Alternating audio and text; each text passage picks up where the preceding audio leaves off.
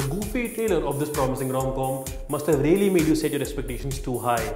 But is Behen Hogi Teri, starring Rajkumar Rao and Shruti Haasan entertaining enough? Well, maybe partially, but only if you manage your expectations first. The film that has its heart in the right place could have been so much more. Let's discuss in detail. Gattu is a good for nothing young guy in the city of Lucknow who's been brought up to believe that all the girls of the neighborhood are his sister.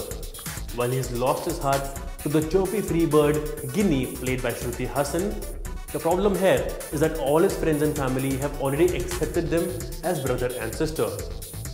While too is too scared to confess his feelings for her, Ginny also plays it in her own way by not completely committing to Gattu but how the lovebirds eventually unite and more importantly convince the people around them is what Behen Hogi eventually narrates. The first half is seemingly goofy and does offer a lot of moments to make you laugh. However, the film loses its focus big time in the second half and sort of derails. Yes, the screenplay could have saved the frankly cliched story, but the writing is no support here. I'm going with 2 out of 5 for story. Filmmaker Ajay Pannalal is making his debut with this rom-com and he only partially succeeds. While he's been able to absorb us in the setting the film is in, he just hasn't been able to keep us entertained. Yes, he did have a very cliched story to give shape to, but his idea of conveying a rom-com seems lost in the transition. He shows promise, but only in bits and pieces. I'm going with 2 out of 5 for direction as well. Rajkumar Rao, despite being undone by a rather ordinary screenplay, instills life in the character of Gattu. To be honest, it's him who you can think of watching this movie for. His comic timing, shades of romance, and even dejection is heartfelt. Shruti Haasan tries hard, but honestly, it's just not enough. Herry Tangri is good, and so is the support cast, which seems apt.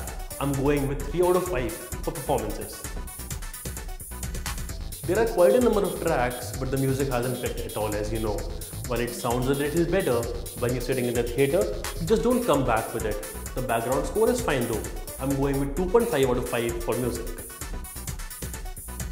Cinematographer Shamsher Singh has done a decent job. He's been able to uniquely capture the madness of a town like Lucknow and has also experimented with it. However, it's the editing that plays the major spoiler in the consistency of the film. Editor Devesh Murudeshwar has been very lenient at keeping the scenes that had no business in the pacing of the film.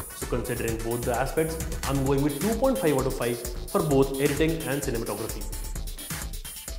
Hogi Teri at large is a film you really feel bad for. Having built so much of promise with its premise and setting, it comes out as a half-baked product in the end. It's not an opportunity wasted, but it's an opportunity not fully availed.